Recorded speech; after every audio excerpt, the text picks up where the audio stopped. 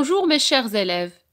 Aujourd'hui, on va faire un rappel d'une leçon de conjugaison, le passé composé de l'indicatif avec l'auxiliaire avoir.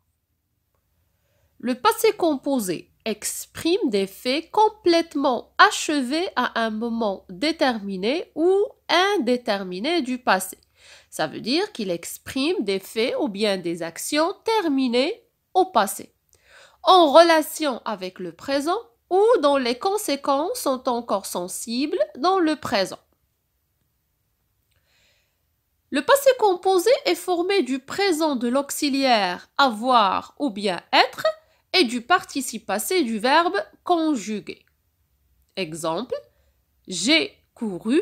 On a ici le pronom personnel je plus l'auxiliaire avoir plus le participe passé du verbe courir. Deuxième exemple, il est venu. On a ici le pronom personnel il plus l'auxiliaire être plus le participe passé du verbe venir. Avec l'auxiliaire avoir, le participe passé ne s'accorde jamais avec le sujet. Regardons l'exemple suivant. On va prendre comme exemple le verbe voyager. Donc, il a voyagé. Il, c'est masculin singulier. Donc, le participe passé prend comme terminaison un accent.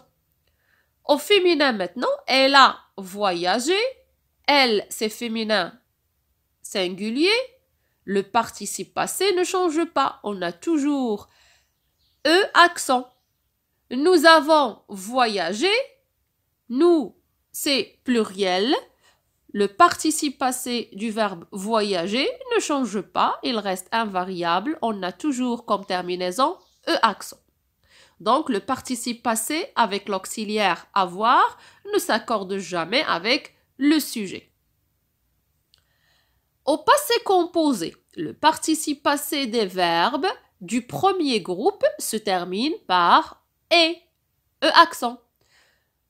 Exemple, le verbe parler, le participe passé, c'est parler avec E accent. Nager, le participe passé, c'est nager avec E accent. Pour le deuxième groupe, le participe passé se termine par i. Exemple, pour le verbe finir, le participe passé, c'est fini. Pour le verbe choisir, le participe passé, c'est choisi. Pour le troisième groupe, le participe passé ne se termine pas de la même façon. Il peut avoir plusieurs terminaisons. Exemple, pour le verbe écrire, le participe passé c'est écrit avec T à la fin. Pour le verbe aller, le participe passé c'est aller avec E accent. Pour le verbe prendre, le participe passé c'est pris avec S. Pour le verbe rire, le participe passé c'est ri avec i. Pour le verbe faire, le participe passé c'est fait avec t. Pour le verbe voir, le participe passé c'est vu avec u.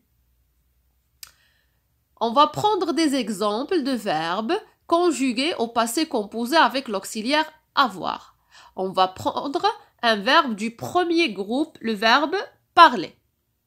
Au passé composé, on va dire j'ai parlé. Tu as parlé. Il a parlé. Elle a parlé. Nous avons parlé. Vous avez parlé. Ils ont parlé. Elles ont parlé. Comme vous l'avez remarqué, le participe passé, il reste invariable et il a comme terminaison E accent. Passons maintenant à un verbe du deuxième groupe, le verbe choisir. J'ai choisi. Tu as choisi. Il a choisi. Nous avons choisi. Vous avez choisi. Ils ont choisi. Elles ont choisi. La même chose, le participe passé du verbe choisir, il reste invariable pour tous les pronoms personnels. Il a comme terminaison i. Passons maintenant à un verbe du troisième groupe. On va prendre comme exemple le verbe prendre. J'ai pris. Tu as pris. Il a pris. Elle a pris. Nous avons pris. Vous avez pris. Ils ont pris. Elles ont pris. La même chose, le participe passé, il reste invariable pour tous les pronoms personnels. Il a comme terminaison S. On va prendre maintenant les deux auxiliaires. Pour le verbe avoir et le verbe être, ils se conjuguent aussi avec l'auxiliaire avoir au passé composé. Pour le verbe avoir, j'ai eu, tu as eu, il a eu, elle a eu, nous avons eu, vous avez eu, ils ont eu, elles ont eu. Pour le verbe être, j'ai été, tu as été, il a été, nous avons été, vous avez été, ils ont été. Ainsi, notre rappel est terminé. On va se retrouver pour des exercices d'application.